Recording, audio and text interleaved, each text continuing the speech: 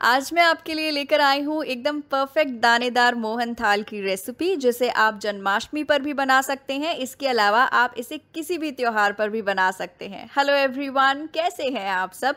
मेरा नाम है पायल और मेरे चैनल में आप सभी का बहुत बहुत स्वागत है। तो चलिए फिर जल्दी से मोहन थाल बना लेते हैं।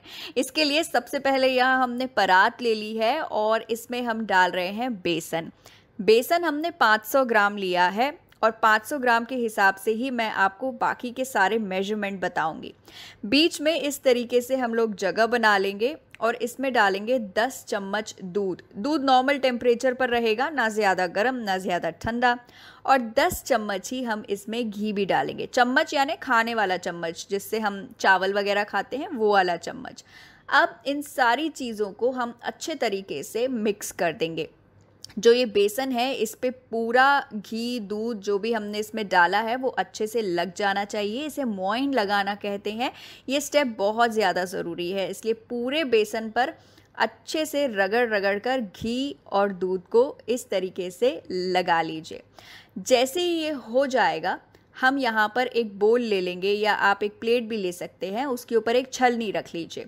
और ये जो मिक्सचर है, घी, दूध और बेसन वाला इसे हम अच्छे से छान लेंगे। बढ़िया तरीके से छानिए। थोड़ा सा ये मेहनत वाला काम है, इसमें थोड़ा सा समय लगता है, लेकिन जो बाद में आपको रिज़ल्ट मिलेगा, वो बहुत ही बेहतरीन होगा।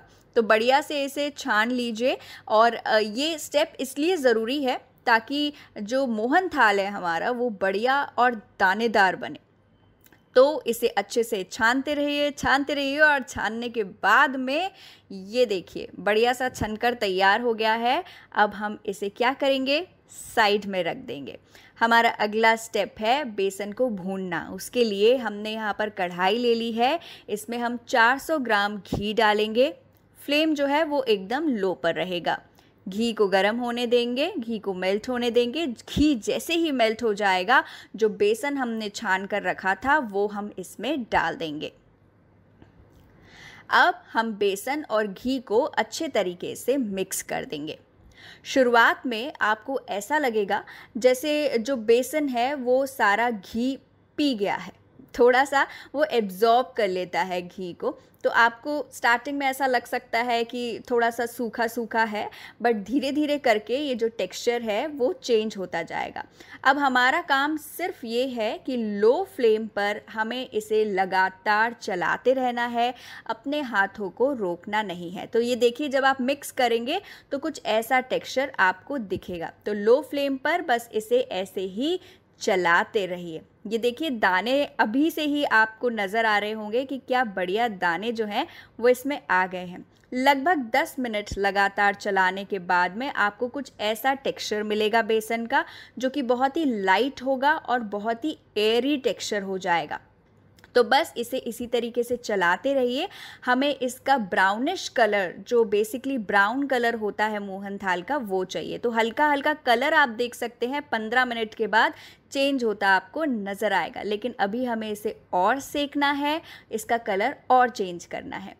तो ये देखिए, अब आपको दिख रहा होगा कि हमें एकदम परफेक्ट जो ब्राउन कलर है, वो मिल गया है। और घी भी आप ऊपर देख सकते हैं कि कैसे एकदम ऊपर पूरा घी जो है वो आ चुका है। इस टाइम पर हम गैस को बंद कर देंगे और एक बार अच्छे से चलाने के बाद में हम इसमें मावा डाल देंगे। 200 ग्राम मावा, जिसे हम खोया भी कहते हैं, वो हम इसमें डालेंगे और मिक्स करेंगे। गैस अब बंद है। गैस अब हमें ऑन नहीं करना है। बंद गैस पर ही मावे को अच्छे से मिक्स कीजिए। ज़्यादा देर चलाने की ज़रूरत नहीं है। पाँच मिनट तक बस सिर्फ़ इसे मिक्स कीजिए। जैसे ही ये मिक्स हो जाएगा, हम इसमें डाल देंगे इलायची पाउडर ये ऑप्शनल है, अगर आपको इलायची का फ्लेवर पसंद नहीं है तो आप इसे स्किप कर सकते हैं। दोबारा से हम इसे मिक्स करेंगे।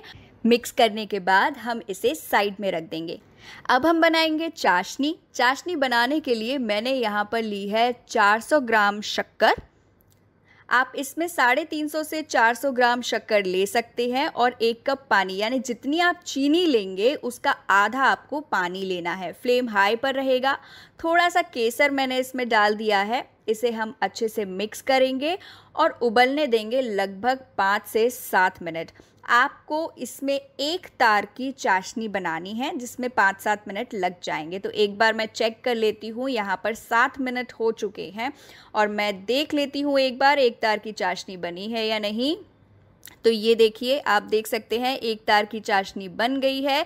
इस टाइम पर गैस को बंद करेंगे और ये जो चाशनी है, वो हम डाल देंगे हमारे बेसन में।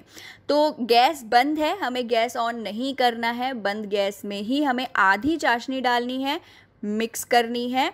मिक्स करने के बाद दोबारा हम बाकी की जो बची हुई चाशनी है, वो डाल देंगे और फिर दोबारा से हम इसे मिक्स कर देंगे। एक साथ पूरी चाशनी नहीं डालनी है, सिर्फ़ आधी आधी करके ही डालनी है और मिक्स करते जाना है। और याद रखिएगा, ये हमें बंद गैस में ही करना है, गैस को ऑन नहीं करना है। इसे जैसे ही हम लगातार इसी तरीके से चलाते रहेंगे, लगभग पाँच से छः मिनट में पूरी जो चाशनी है, वो हमारे मिक्सर में सेट हो जाएगी। उसके बाद कोई भी प्लेट ले लीजिए या कोई भी मिठाई की ट्रे ले लीजिए और उसमें इस मिक्सचर को डाल दीजिए।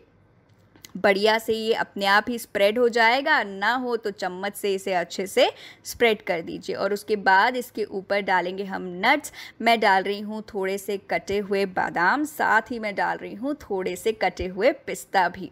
अब इसके बाद इसे तीन से चार घंटे के लिए ऐसे ही छोड़ दीजिए सेट होने दीजिए। तीन से चार घंटे के बाद ये बढ़िया से सेट होकर तैयार हो जाती है।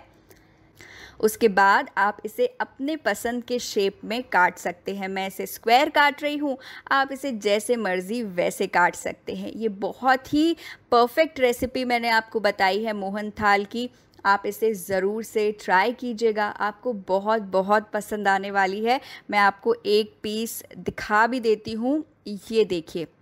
थोड़ा पास से भी दिखा देती हूँ कि ये कितना बढ़िया और दानेदार बना है, बहुत ही बढ़िया टेक्सचर है, एकदम मार्केट स्टाइल जैसे हम मार्केट से ख़रीद के खाते हैं, बिल्कुल वैसा ही ये बनकर तैयार हुआ है। तो आप इसे ज़रूर से ट्राई कीजिएगा, वीडियो पसंद आया हो तो लाइक कीजिएगा, शेयर कीजिएगा, मेरे चैनल को सब्सक्राइब ज़रूर कीजिएगा और उसके बाद जो बेल आइकन आएगा, उसे भी ज़रूर से प्रेस कीजिएगा। जल्दी मिलेंगे हम अगली रेसिपी के साथ में, तब तक के लिए Bye bye.